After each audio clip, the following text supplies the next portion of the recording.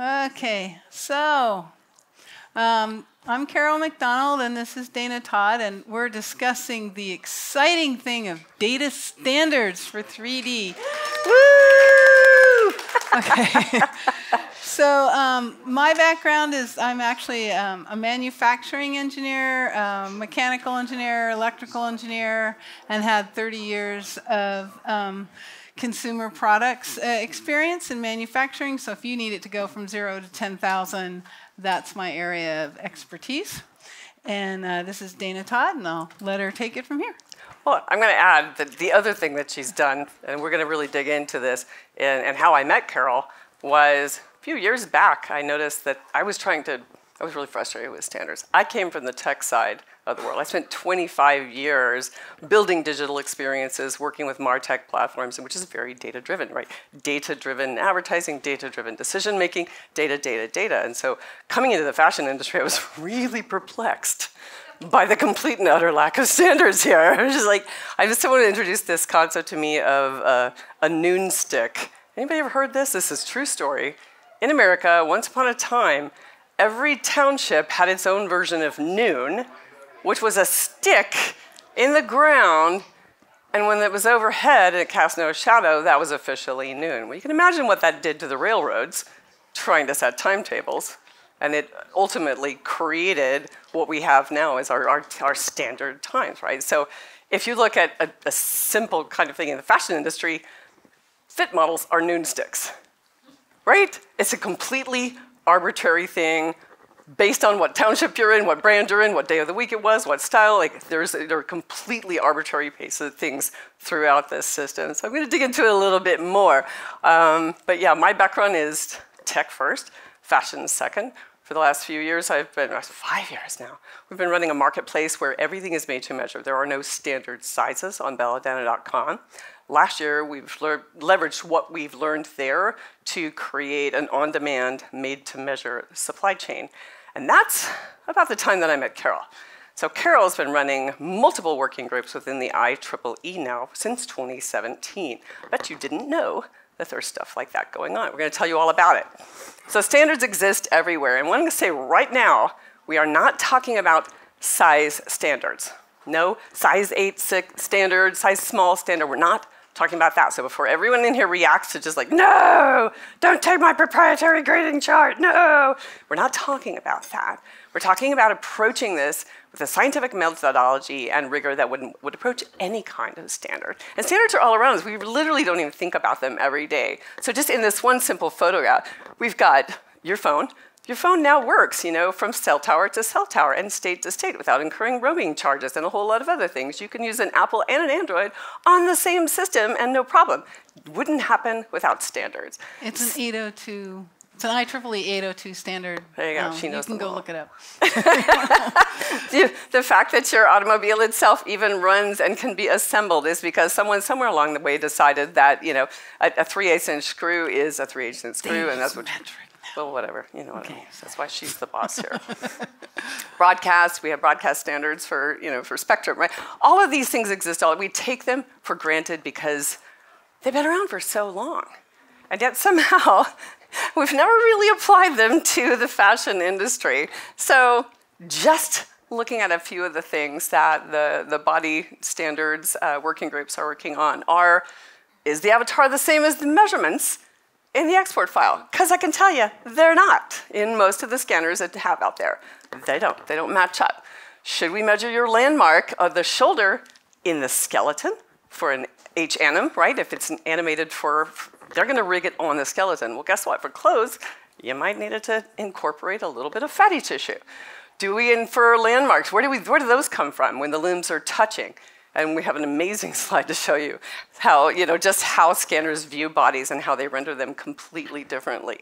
What's the x-axis? Is it on the floor? Is it on the side? They don't even tell you. You have to guess. You have to pull it in a secondary. There's just all these little things. It's about communication. How did we deter how did we determine the height on this avatar? Did we use metric and how far down did we go? Which waist? How many waists do you think there are officially? when they first started, they had eight. Now we're down to four. Yay.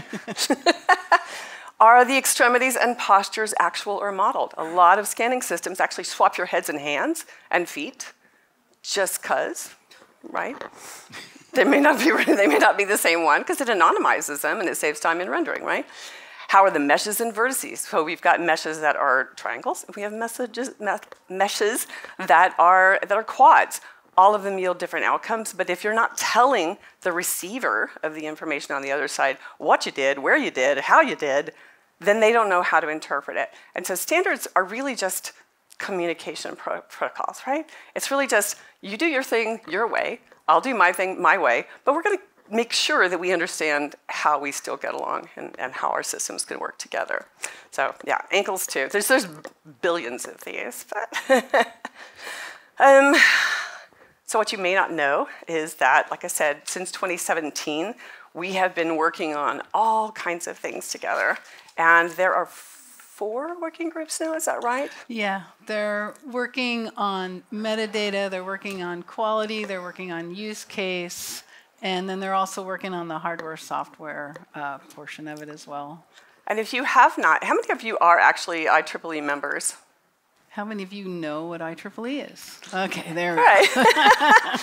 so most people are like, well, that's for electrical engineers. It's not for me. Well, they are actually just really darn good at setting standards. Right? Yeah, what standards body. Do. Yes. That's what they do. It's part of what you do. Exactly. Yes. And they have dedicated staff that help organizations like our working groups work with industry who don't even have to necessarily be members, who can all collaborate together to help to create standards that help everybody else get along. So, um, you might anybody see the Khronos uh, group thing yesterday? Yeah. So we're actually, our teams are working with Khronos on, on H-Anim standards, uh, like that very important, where's your heel piece, right?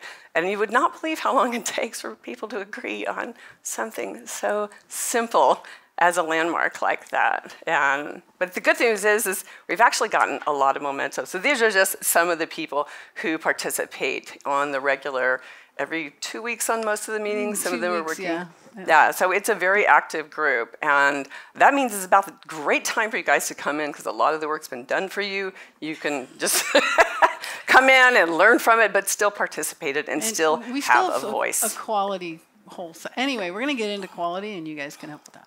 And I'm going to give you a QR code at the end, but just to let you know, what this is all about is to research, explore, and disseminate information specifically for the challenges that we're hitting in apparel, footwear, wearables, digitization, and the spillover, by the way. So it's not just clothes you wear, but clothes you wear in the metaverse, clothes you wear in, you know, in CGI. So anything that affects the human body related to an external environment or a component, we're focused around those body standards and creating information that can be transferred and methodologies for doing so, for sharing.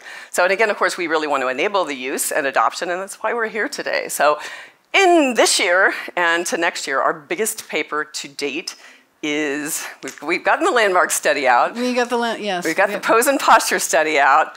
This one's going to be all about standards. The, the official. The official. It's going to be the Bible, standard. right? Yes. So it's going to be a big deal, and we're going to need you to be part of that in some way, shape, or form.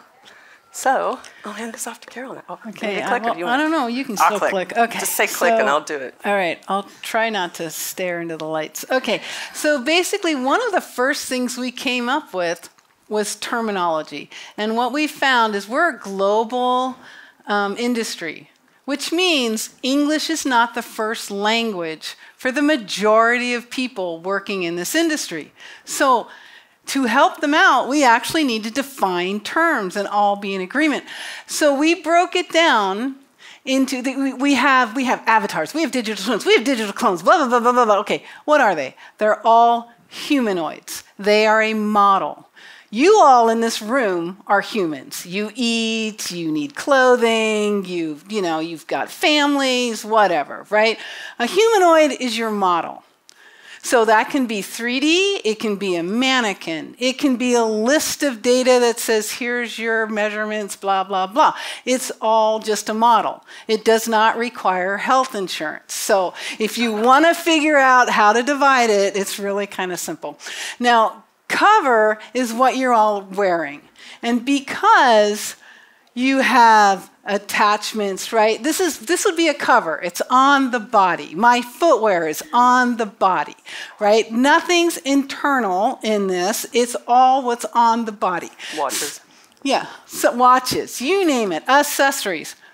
We're going to put it under a big category. Oh, we're halfway through. I think we're about we're on six. We're good. Okay.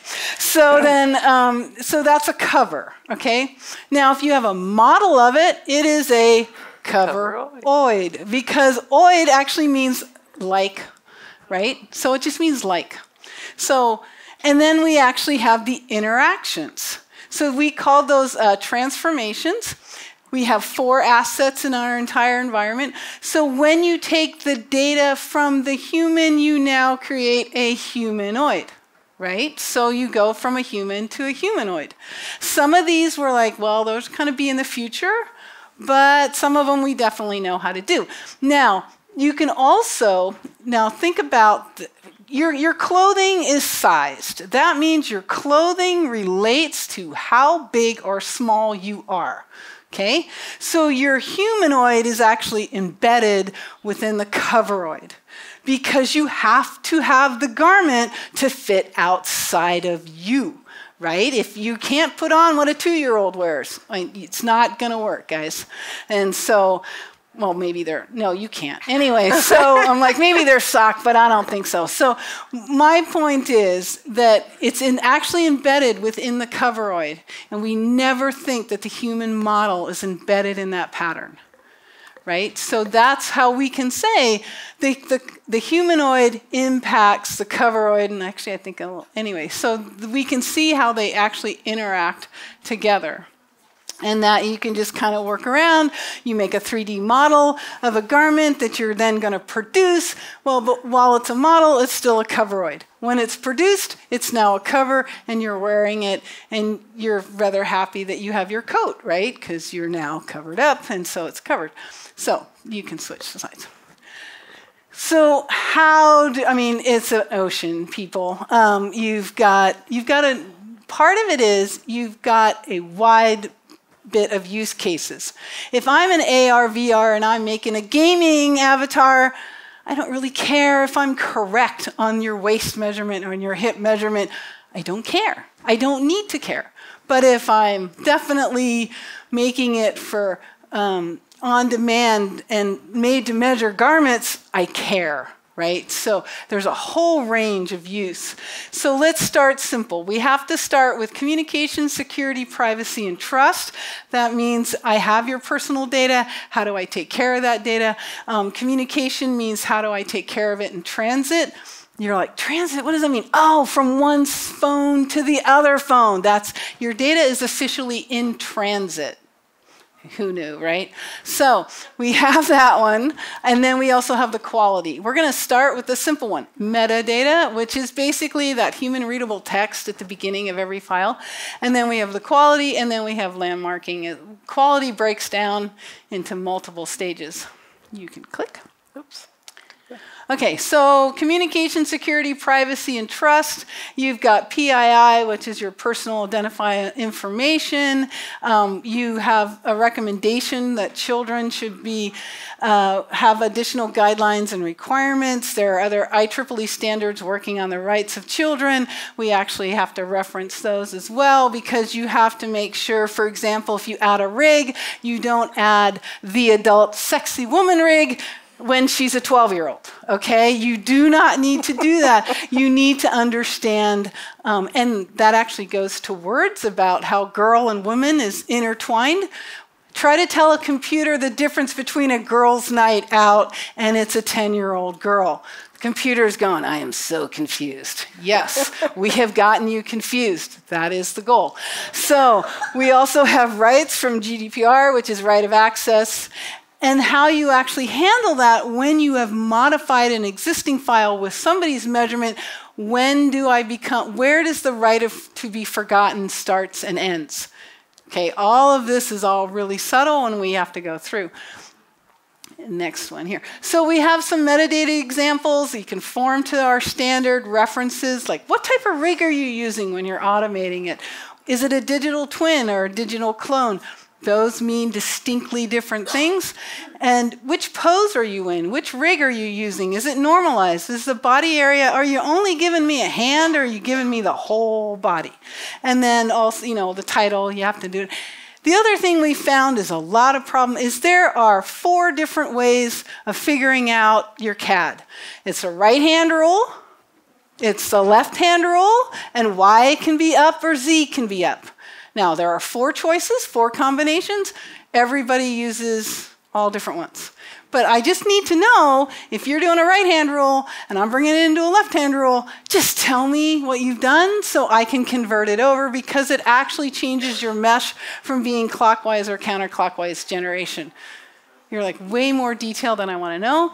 But for your tech guys, they go, oh, it's human readable. Okay, now I know what to do. So we can. And external systems can read it too. And external systems can read it. You know, I'm just like, just tell me. I don't care what you do. Just tell me. Now, do you think this is the same person? Is it a trick question? okay, the answer would be yes. We took four phone apps, and this was the models that we gave back. Now, tell me, as apparel designers, can you make a garment for exactly? The no. answer is no. so that's what I'm saying. So we need from the scanning providers the actual posture, we need the actual body shape, and we need to know if you have a body rig, what which one is it? Because it, the body rig will indicate whether you can actually do this, okay? Because most of the body rigs have one point here and one point here, but they don't allow you to roll your shoulders. I'm curious, with all like the inaccuracies in the past with 3D in the fashion industry, is there a way we can like input things like body measurements, body fat percentage to be more specific on the outcome? That would be standards, dude. Okay, so. Perfect. Good segue. Sorry. Um, so the answer is uh, yes, we can bring in, but then how much manual data? And, and, and honest to God, I can tell you, put in your height. Now, if you're a male, you go, uh, I'm going to add an extra inch because I'm a guy, okay? If you're female, you tend to go, I'm not 150 pounds. No, I'm 135. Okay, but can I now make you a garment? Eh. No. So, so how much do you truly, you know, on the phone? Honest. You got to be honest, and, that's actually, are always honest. Uh, honest, always honest, always honest. So the the key also is that we have to train consumers. We've trained consumers the following: any garment I can get over me fits. Does it look good? Well, no. You know, from a trained eye, they go, oh, geez, okay. But You've trained cons- consumers. If I can move, it fits. Okay? That's all we've trained consumers on. We've also trained consumers that if I don't like it, it's not close enough, I can exchange it a gazillion times. Okay? I mean, I can, you know, buy three, exchange two.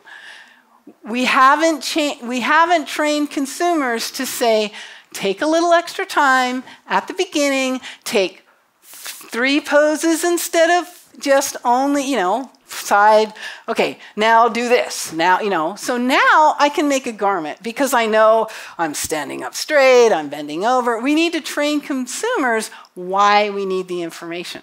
We haven't trained them. We've just said, here, good luck. Pick what you want. So, um, and then next one. So now we have landmarking as well.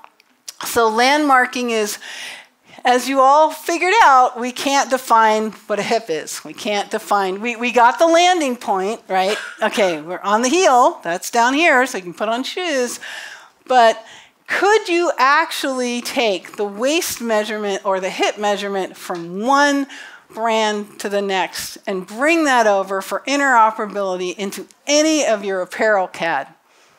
The answer is probably no. Not right now. It's not right now. So can we set up a standard for the anchor points? From a design standpoint, you know, if, if you want your shoulder to land here, I don't care. I just want you to know here's the shoulder of the body. Now do what you want, right? I mean, you've got to understand.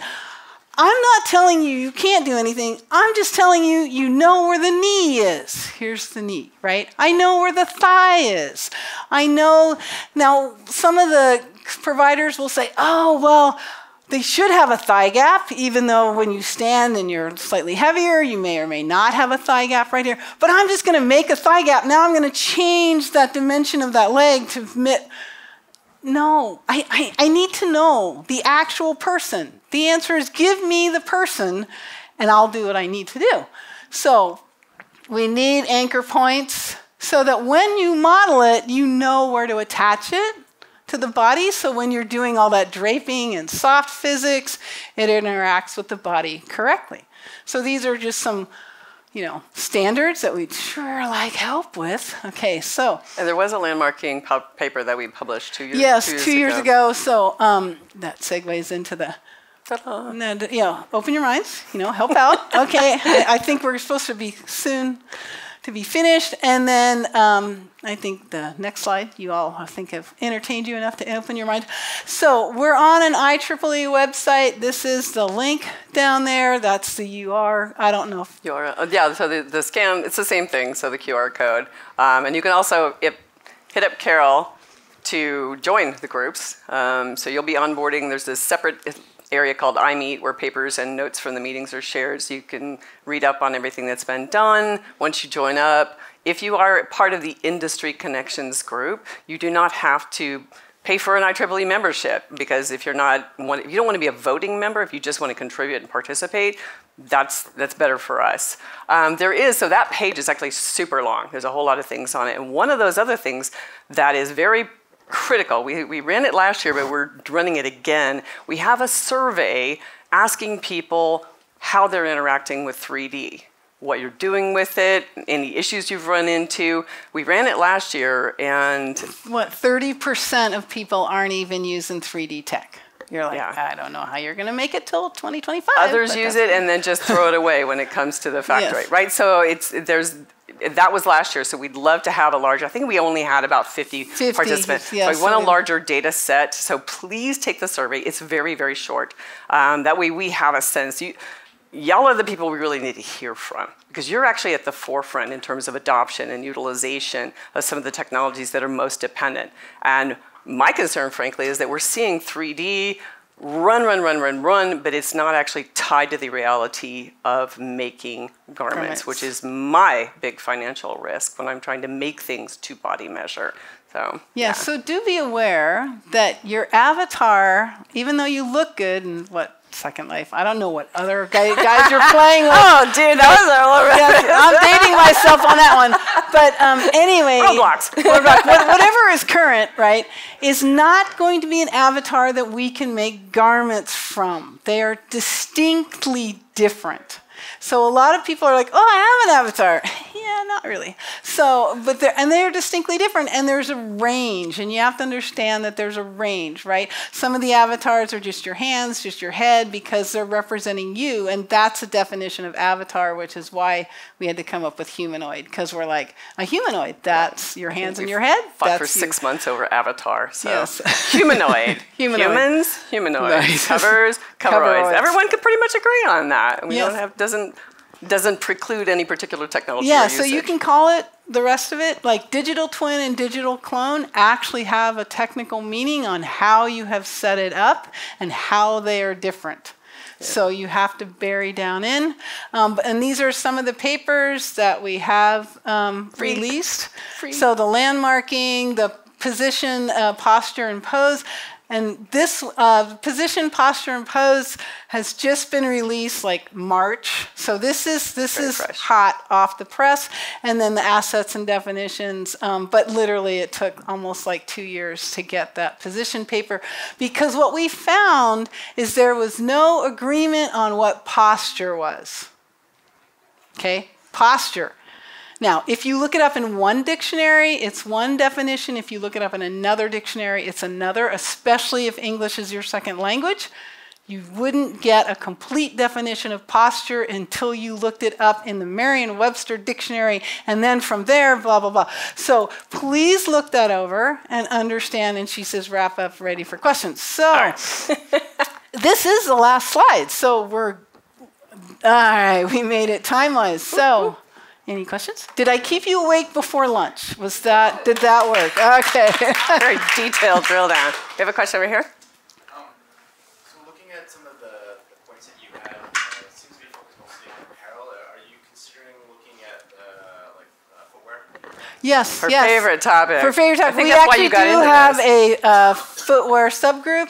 Um, we have released a paper that's on that same website that you saw on um, the different um, definitions for the foot.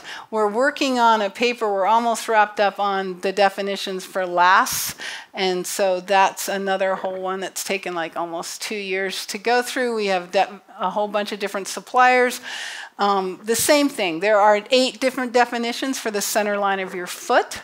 So when somebody gives you that measurement, you have to know how they got it, and that's the real key. We're like, don't. Wait, so I, I center don't, line is the waist of feet? Yes, center line of your foot is your waist of feet because you have to know whether you're doing the center line of the entire width, whether you're doing it to the second toe, whether you're doing it at an angle, whether you're doing it from the center line. Anyway, yeah, yeah, yeah. All that. And the, follow-on question: Are you doing anything around digital materials at all? Um, that's 2025. Um, because we've introduced cover and coveroid, uh, we had we're focusing on getting the body out Basic- the door, if you know what I mean. Yeah, we're trying to get it graduated. And then once we do that, then yes, the next section of the standard is to go through all the covers because you have the covers, you have the soft physics, you have the animation, you have But there are textile groups within IEEE already. Yes, So, so you we- can go ahead and start participating now because we will be collaborating. Because we'll need all them. that information anyway, so it's like yes, we'd love to have somebody starting on that because that is the very ne- that's next. That's next. Yes. Um, Piggybacking on that question, um, could you give us a high level of the roadmap in terms of the graduation of this? Since you started it like some years ago, and it- how it will be adopted globally in terms of the standard? Well, the standard officially is will probably come out in 2025. So what we have, I mean, we keep because it's an ocean. It's a rather big ocean. Um, it's not. It's the Pacific. It's not the Atlantic. So um, what we've determined, and what we realize as we're doing this, is we had to go back and define what is a humanoid. You know, we had to go back and get some definite definitions so that when we bring that into the standard, because what we're able to do on the standard is literally reference the asset and transformation paper and say, this is it, right? Um, we can use that definitions. So There, there is a there was a, a an earlier draft and there's a working draft now. So if you're participating, you can actually jump yeah, in you now. can actually see and, because and yeah, um, we've I've been using them for my data labels to try to go back because we use a lot of different body measurements, and so what we were finding is that all of our scanning partners had different methodologies and labels. So we normalize that data to match closely to the IEEE. So our waist is defined as smallest width waist in the back end, so we know exactly where it's taken. So and and, and uh, that may that may that is one waist, right? one. But one waist. But at least we now okay. We have one definition of waist. We can have another definition of. I mean, there are going to be multiple definitions of waist. Yes, you can pick one or You can pick one, or you can state it, I'm using this one or that one. Okay, two minutes. Yes. Um, I'm just wondering, we've heard from a lot of startups, uh, and some that are in other industries, in technology, avatars, video gaming, and, and such, and we're utilizing, this group specifically is utilizing these standards towards fashion, but there's a lot of startups and new technologies that are coming out of like Meta and Silicon Valley and all these things, so how can we stay up to date, not only, on- and I know you're gonna say standards, that's, that's how can we stay up to date and ensure that like not only are we setting standards and learning for our industry, but also adopting and learning and growing with other industries that are also innovating and also standing Yeah, so we are actually, um, if like we have some of the people from that. Um, we didn't, I didn't put Kelly Varos in there, but we have people from that industry that are working on VRs and ARs and, Oh, and all of that. of So we have lots of. We are definitely cross-functional, Yeah. and they're like, well, why do you need, you know? In, in fact, I would actually say that we're missing more pattern makers, more fashion production people. We're heavy on engineers, we're heavy on animation, we're heavy on people who are looking at this from different angles, much more startup be future focused and, and in the metaverse space. We really do need some fact checkers on the scene who are hardcore pattern makers and be like, yeah, that doesn't work, How right? avatar into reality? 'Cause Right. the Yeah. Yeah. So so and Yeah. and we're and our whole point is if I have metadata and I have a little thing on going gaming only, y- you know not to use that avatar because you know eh, it might be that person, eh, it might Yeah. not. But it's perfectly fine to go. Oh, okay, I'm, I'm in a game. Yeah. I, I look close enough like you. I'm good enough, right? So we have those people already, which is why the quality has taken this long because they're like, I'm coming from VR and now I'm going to fashion, right? So, you know, how to actually define. And so some of it was like, well, why can't we just have Y is up because fashion uses Y is up? I'm like, because Z started because everybody was making buildings and boats, and Z is up on all of those. So, okay, we are done. So, um, If you have more questions, let us know. And please join the, the groups. Yeah, so growing to Drew, um, do whatever. Read the papers. Um, if you have, com- you know, questions, whatever. Give a copy to your engineers. Yeah, if you think uh, we're totally on left field, let us know. Um, because I really like people who go, What are you doing? Right? Because then you get a response. And then if you meet the needs of both groups, then you're there, right? I'm not saying compromise. I'm saying we identify what you do, do what you like. Just let us know. Kind of like your mom. Just let us know where you're going, when you're going to be in tonight. You know, that's all I want. Thank you So- so much. Thank you.